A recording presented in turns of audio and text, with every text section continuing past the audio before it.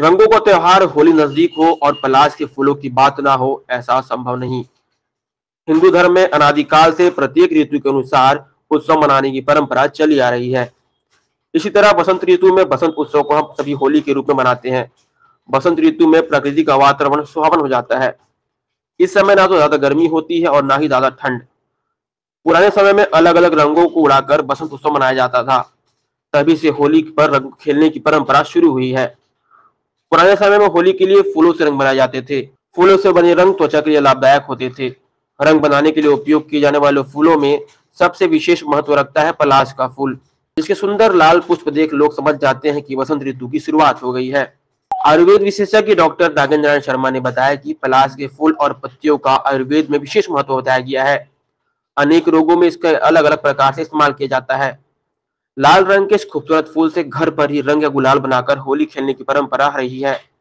वर्तमान में लोग बाज़ार से केमिकल युक्त गुलाल का इस्तेमाल करते हैं। आने वाली होली घर पर ही पलाश के फूल से हर गुलाल या रंग बना सकते हैं। यह गुलाल आपकी त्वचा को अलग चमक देगी और साथ ही वातावरण सुगंधित उठेगा। लाल रंग के खूबसूरत पलाश के फूल को इकट्ठा करने के बाद उसे सुखा लें और उसके बाद जब वह सूख जाए तो उसे उबाल लें। मात्रा का भी ख्याल रखें कि दो लीटर पानी में केवल 200 ग्राम पलाश के फूल इस्तेमाल करें। पानी में पलाश के फूल को उबालने के बाद आपको नज़र आएगा कि पानी का रंग केसरिया हो जाएगा। अब इसका इस्तेमाल आप होली में रंग के रूप में कर सकते हैं।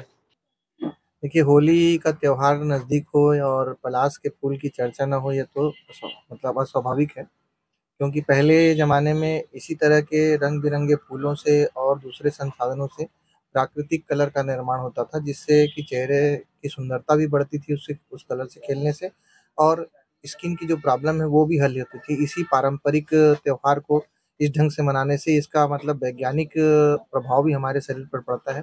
पलाश के फूल को दो तरह से मतलब एक तो गुलाल भी बनाया जा बच जाता है उसका और एक कच्चा रंग भी बनाया जाता है। तो पलाश के फूलों को लेकर उसको पहले छाया में सुखा देते हैं, उसके बाद फिर उसको दो से तीन लीटर पानी में जितना पानी मतलब लगे आपको दो तीन लीटर, जितनी मात्रा आपके मतलब पुलास फूल की है, मान लीजिए दो तीन लीटर पानी में लगभग 200 ग्राम के पलास फूल को डालकर उसको उबालते हैं।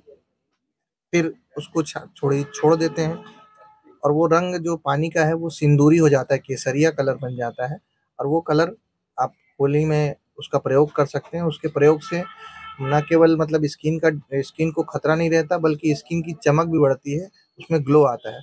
और दूसरा, उसके माध्यम से गुलाल भी बनाया जाता है, जो फूलों को तोड़ लेते हैं, उसमें लाल और थोड़े काले कलर की बेंडंटी रहती है, उसको अलग कर देते हैं।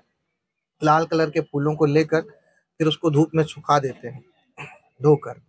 और उसके पश्चात उसको सूखने के बाद उसको बारीक पीस कर, फिर उसको कपड़ छन कर उपयोग करने से वो गुलाल, हल्का केसरिया गुलाल और लाल कलर का गुलाल के रूप में वो उपयोग किया जाता है, जो कि मतलब पलाश के फूल का वैसे भी स्किन डिसीज में बहुत प्रयोग होता है आयुर्वेद में।